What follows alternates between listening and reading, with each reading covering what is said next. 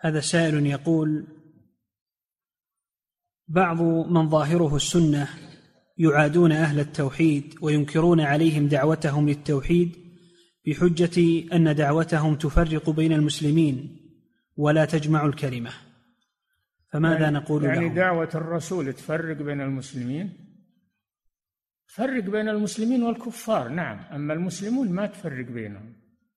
أما أنها تفرق بين المسلمين والكفار نعم. أما المسلمون فلا تفرق بينهم. نعم. هذا كلام باطل والعياذ بالله. نعم.